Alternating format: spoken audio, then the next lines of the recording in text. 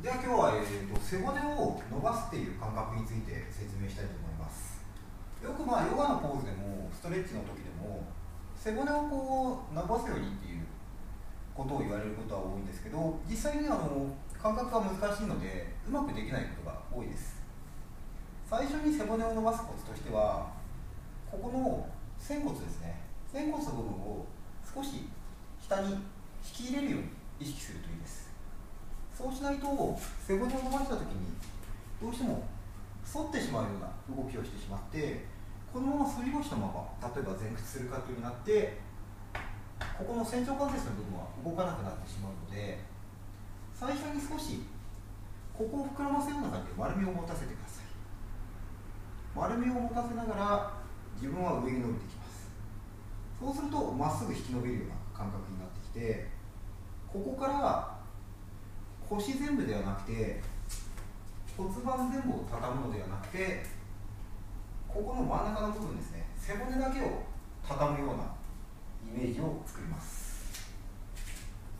前屈をした時にすぐに丸くなりたく下につきたくなるのを我慢してここから背骨の方向ですね背骨の方向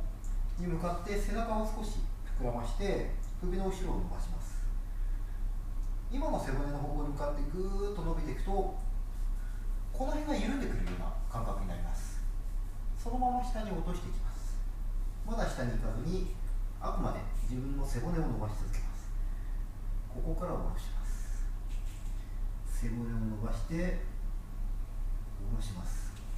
吸った時に背骨を伸ばします。首の後ろを長く保って尾骨は少し下にやはり向けます。こっちを下に向けることで背骨と引っ張り合いましょう。吸って広げて背骨を広げて吐いて落とします。吸って首の後ろを伸ばして吐いて吸って戻ってきます。どうしても丸くなろうとすると上だけ丸まって根元の部分が動かないのであくまで前屈も根元の